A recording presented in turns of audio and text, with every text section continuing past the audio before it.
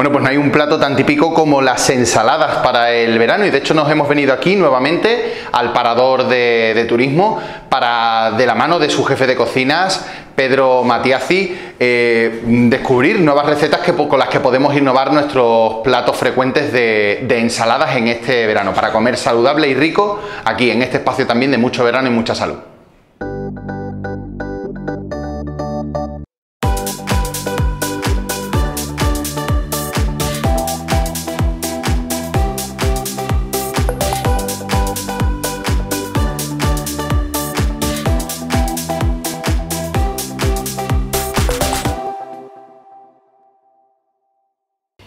Bueno, pues ya estamos aquí, estamos en el parador de turismo, pero estamos en el patio interior del, parador. Y bueno, con nuestro cocinero particular de mucho verano y mucha salud, Pedro Matiazzi. ¿Qué tal, jefe de cocinas del parador de Úbeda? Muy buenas tardes, lo ¿qué tal? Muy buenas. Bueno, que eh, hoy nos vamos a centrar en otro plato tipiquísimo del verano, que son las ensaladas, ¿no? Efectivamente. ¿Qué vamos a preparar hoy?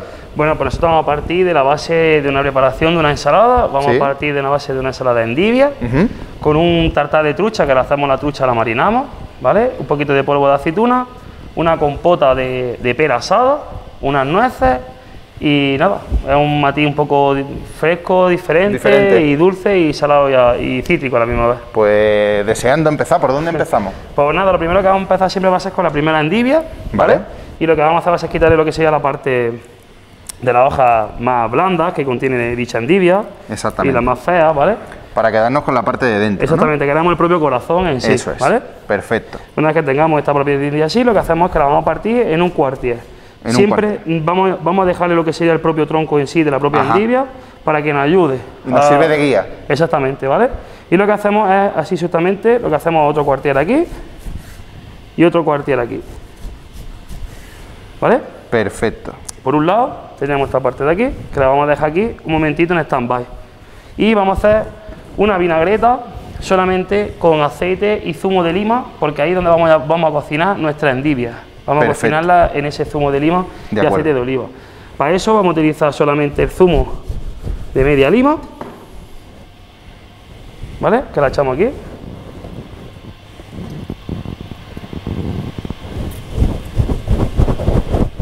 Perfecto, ya tendríamos además eh, ahí ese zumo de media lima. Aquí le vamos a echar unos 100 mililitros aproximadamente. 100 mililitros. Efectivamente, de lo que sería de aceite de oliva. Como 3, 4 cucharadas más o menos. Más o menos. Vamos a coger una cucharita. Y lo que vamos a hacer va a ser una propia emulsión, moviéndola bastante bien, ¿vale? Con la ayuda de la propia mano. Vamos moviendo a la misma vez que vamos a esto, hasta que se van haciendo una propia emulsión. Vale. En el cual vamos a meter la endivia y la vamos a dejar reposando aproximadamente unas 4 horas en este zumo de lima y aceite de oliva. Vale, o sea que introduciríamos ahí las endivias y estarían durante 4 horas ahí reposando en ese... Efectivamente, le quitamos el tallito. Ahora ya sí le podemos quitar el tallo, y lo que hacemos es? que vamos metiendo endivia. Perfecto. Damos tallito y vamos metiendo la propia parte de la propia endivia así.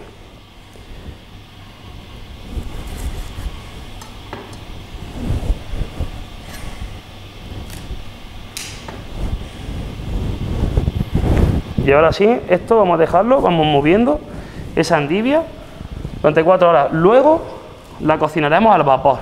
Perfecto. Unos 30 segundos o un minuto.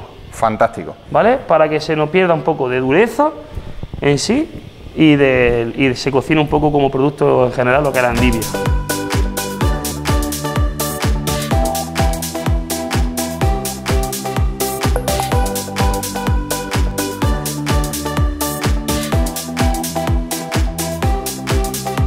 Bueno, pues estas serían ya nuestras endivias pasadas ese periodo, ¿no? Efectivamente. Aquí tendríamos lo que sería una textura un poco más, más suave, más sutil, que se puede trabajar bien la endivia en sí. Perfecto. Y esto va a ser la propia base de, nuestra ensalada. Y además ha cogido también el sabor del aceite de oliva, de la lima. Efectivamente. Le hemos pegado un previo marinado a esa endivia. Fantástico. Y como la hemos marinado al final con aceite y con la lima, se va a impregnar esa grasa vegetal. Estupendo. Y le vamos a dar una cocción de vapor, solamente para que además se nos pone más transparente en sí la propia endivia y bueno, no es tan dura, en fin, en fin queremos que sea un, un boca un poquito más sutil. Eso es. Boca. Y vamos si quieres con el montaje. Fantástico, pues vamos a ello. Vale, pues bueno, pues para ello cogeríamos con lo que sería la propia endivia y vamos colocando nuestra propia endivia en sí en el propio plato. ¿Vale? Esto también es una ciencia el emplatar, ¿eh? sí, muchas veces pienso que hay que comer siempre con los propios sentidos y hay que utilizar toda la parte de los sentidos, tanto el gusto, el tacto, ese oído y utilizar los cinco sentidos que al final no solamente sea el gusto, al final lo primero que siempre nos ponen en la mesa siempre va a ser visualmente y vamos a comer un poco más con el ojo. Así y no obstante luego ya empezaremos a saborear, a, oler, a escuchar los crujientes, matices o, lo que nos cuenta el plato. Totalmente. Porque muchas veces hay, platos que se vienen de comer como con las manos, ¿no? Por, el tema del sabor, un tomate con sal comido con la mano, al final es otro sabor diferente que con ese cuchillo, ¿no? Desde luego. Bueno, vamos a poner como una parte de endivia y, media, más o menos, en sí, y vamos a hacer como pues bueno, como los chiquillos, una torrecita de estas de Lego, prácticamente, ¿vale? Perfecto. ¿Vale? Aquí tendríamos una trucha, que lo que hemos hecho ha sido, la hemos marinado, la hemos, desespinado, hemos utilizado tres partes de, sal por una de azúcar, sí. ¿vale? Y solamente se quedan 15 minutos. Desespinamos y quitamos la piel y conservamos con una parte de aceite de girasol y una parte de aceite de oliva para que tampoco se nos, aporte mucho sabor en sí a la trucha. Fantástico. Vale, entonces teníamos, partíamos la trucha más o menos de un centímetro aproximadamente, un centímetro, centímetro y medio, efectivamente, ¿vale? Y lo que vamos a hacer va a ser poner nuestra trucha en el centro de la endivia. En el centro de la torre que hemos hecho. Efectivamente, vamos a construir a partir de esa torre. Perfecto. ¿Vale? Vamos a ponerle bien de trucha, ¿vale? Porque esto también al final lo que queremos es aportarle unas proteínas al plato y que sea, además le va a aportar un toque también salado y de salazón que es lo que buscamos en sí en nuestro, en nuestro propio eh, plato en general, ¿no? Claro. Vamos a continuar con un polvo de aceituna negra que tendríamos deshidratar eh, 6 horas a 60 grados, ¿vale? Perfecto. Y lo que hacemos es que le vamos a poner unos puntitos diferentes tirados encima de, la, de cada extremo de la propia endivia. Genial. Tenemos una crema que hemos hecho, hemos hecho una crema de pera. Sí. Le quitamos el corazón a la pera y lo que hacemos es que le metemos un poco de mantequilla en sí a la propia pera y la asamos al horno. Vale. Una vez que esté asada. ¿Cuánto tiempo más o menos la asamos? Son unos 20 minutos a 180 más o menos. Más o menos. Eh, no, lo va a decir la propia fruta en sí, depende del tamaño siempre, porque al final lo que la propia fruta se nos va a quitar la propia piel.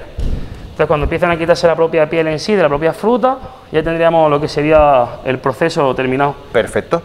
Entonces, continuamos para dar ese toque, ese toque dulce de pera eh, eh, al final, a la propia la esta, lo espesamos nada, con un poco de aceite de oliva y hacemos una emulsión. A la que trituramos la pera, echamos aceite de oliva y hacemos como una emulsión de esa pera.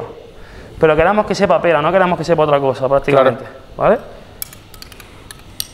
Esto le vamos a poner unas muy buenas cucharadas porque esto al final va a ser unos toques que nos va a aportar bien, ¿vale? Uno encima de la propia trucha. Eso queremos que nos aporte, ¿vale? Perfecto.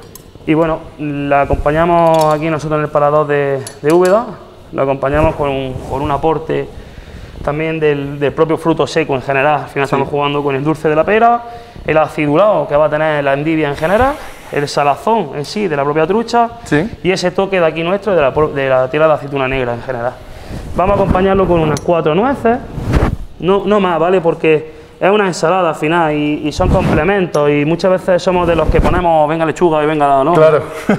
no pasarse, no pasarse. Exactamente, al final cada cosa tiene que llevar siempre su propio complemento y, lo que queremos al final es que la nuez le aporte a un complemento, pero que no sea un exceso, al final queremos que aporte algo, ¿vale? Perfecto.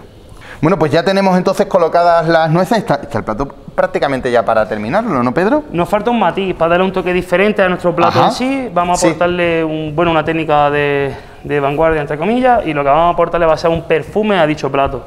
Ah, en este caso, mira, si me dejo un segundito de cogerlo. Sí, sí, sí, por supuesto. Bueno, nosotros como hemos cocido la lima, las libias, perdón, en zumo de lima, vamos, vamos, le hemos hecho un aire con lecitina de soja, líquido y lecitina de soja y zumo de lima. Entonces va, a aportarle al final lo que queremos al, propio plato en sí, ¿vale? Y al final un dicho perfume nos va a recordar como si fuera la espuma de, bueno, pues de esta de afeitar o... o alguna cosita así. Este sería nuestro plato acabado, una ensalada. Pues ya tendríamos entonces una, y bueno, es una ensalada también completamente diferente. Sí, claro. Buscamos siempre el aporte de la trucha, de la endivia, del fruto seco, de la pera y, darle unos matices diferentes a la ensalada en general. Fantástico. Bueno, pues aquí tenemos la ensalada de endivia que acabamos de preparar, pero hay mm, bastantes más ensaladas. Bueno, que todos estos platos que, veis aquí son platos que están en carta, sí, en, en, el parador de, turismo. Y bueno, formas diferentes también de, entender platos y de entender ensaladas que se pueden llevar perfectamente a la mesa. Efectivamente, además son muy fáciles de hacer prácticamente y lo que queremos siempre nosotros, por lo menos aquí en el parador de Huida, lo que intentamos buscar como concepto es buscar otra forma diferente de que, de que no sea la ensalada verde o tomate o maíz, ¿no? Entonces, bueno, aquí tengo una, tengo unas seis diferentes ensaladas. Sí. Y al final mm, partimos de la base, tengo aquí una, una, otra, una crema fría, que hacemos un ajo blanco, lo hacemos normal, ajo blanco. Lo que pasa es que escaldamos un poco la almendra y los ajos para quitarle la fortaleza en sí al ajo blanco. Vale. Y lo acompañamos con un tartar de manzana, una almendra laminada y un helado de ron con pasas.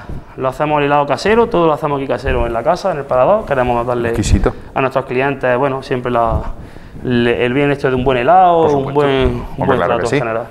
Partimos de la base siguiente, tendríamos un asadillo de hortalizas prácticamente de toda la vida, con el caldo en sí, que nos suelta la propia asadillo de hortalizas, hemos hecho esa vinagreta para que nos sirva de aliño en sí del propio asadillo. Fantástico. Y le ponemos encima una codorniz que hacemos en escabeche, con un poco de canela, buscamos ese rollo árabe al final, nosotros al final dentro de la textura que tenemos aquí, nosotros en el tema de Jaén tenemos una costumbre, una cultura un poco árabe en general, y otra vez nosotros hacemos un escabeche un poco con canela, vainilla, cardamomo, tal, tal, y hacemos una codorniz en escabeche para que se nos quede. Continuamos con el siguiente, como no, una pipirrana de Jaén. Utilizamos el tomate en conserva. Prototípico. Prototípico, efectivamente. La única diferencia en sí es que le hemos, metido una sardina en tempura para darle también ese toque del pescado ahora mismo de temporada, de la sardina en general. Y hacemos esa sardina en tempura y luego lo hacemos majao con la yema del huevo, un poquito de comino, aceite, sal y vinagre de Jerez, como no. Qué cosa más rica. Hombre, el vinagre de Jerez es fundamental, no parte imprescindible. Sí, como el aceite, ¿eh? Luego continuaríamos con la siguiente, que tendríamos, bueno, hemos hecho una ensaladilla rusa un poco diferente y lo que hemos hecho es una ensaladilla de langostino. Hemos hecho una ensaladilla de langostino, le hemos puesto encima un gambón, lleva también una guava de trucha que le va a aportar una salazón y, la, y lo que es la originalidad en realidad de esta ensalada es que hemos hecho un helado de espárrago blanco. Hemos utilizado el espárrago blanco y el agua de cocción del espárrago blanco para hacer un helado. Y dentro de ese helado queremos que ese helado nos sirva como complemento del aliño de la propia ensalada en general, ¿no? O sea, alineando la ensalada con un helado. Efectivamente. más veraniego que eso imposible. imposible claro. más veraniego que eso imposible. Efectivamente. Y tendremos aquí otra más también. Efectivamente, aquí tendríamos una, una ensalada vegana, pura y dura. Vegana, vegetariana, ¿vale? No lleva nada de conteniente de, origen animal. Ajá. ¿Vale? Entonces se compondría de rúcula, alineada con aceite, sal y vinagre. Ya hemos hecho un cuscú que hemos cocinado con un poco de cuarrécano. Hemos hecho un cuarrécano al final salteillo con cebolla y ajo. Y ese cuscú, el cuscú puede aromatizarlo, yo, nosotros como hacemos aquí el cuscú son partes iguales, calienta el líquido con que quiera infusionar el cuscú. Y nosotros lo que hemos aromatizado al final el cuscú es con un poco de jengibre en polvo, curry y cúrcuma. Lo hemos utilizado. Cocemos, hacemos un poco de lo que sería el cuarrécano de aquí de Jaén y con cebolla y ajo, va mezclado con ese cuscú, que lo alineamos a su misma vez también con su aceite y con vinagre.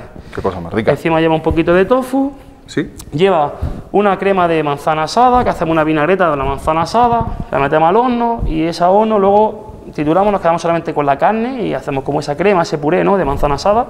Perfecto. En el cual alineamos con un poquito de aceite de oliva, sal y vinagre. Siempre la base, como yo digo, de, una buena ensalada al final. No... Desde luego. Y además, bueno, también para que aquellos que siguen dieta vegana, pues también tienen además sus platos aquí en paradores, pero además pueden hacer este plato perfectamente en casa. Nosotros como paradores siempre focalizamos que dentro de un plato vegano tenga sus proteínas, tanto proteína de soja, proteína de, algún cereal, proteína del fruto seco y proteína, y en lo que nosotros queremos también aportar mayormente, sea también ese, ese toque y ese matiz de la manzana para darle esa cremosidad tanto al cuarrécano como a la rúcula, como a lo que sea las almendras, que las almendras también van fritas y laminadas y a ese toque del fruto seco como que aporta una ensalada fina vegana o vegetariana. Pues espectacular, pues Pedro, te damos las gracias nuevamente por habernos servido de, chef de, mucho verano, mucha salud. Y bueno, ya ven ustedes que se pueden utilizar platos típicos, pero además también aportando ese punto de, innovación para comer también rico y saludable en el, en el verano. Y además todos estos platos los tenéis disponibles aquí también en el Parador de Turismo. No nos tenemos que ir lejos para comer, ¿de acuerdo? En este espacio de mucho verano y mucha salud. Pues nada, les esperamos aquí, aquí tienen ustedes su casa y espero que hayan disfrutado. Muchas gracias. Un placer.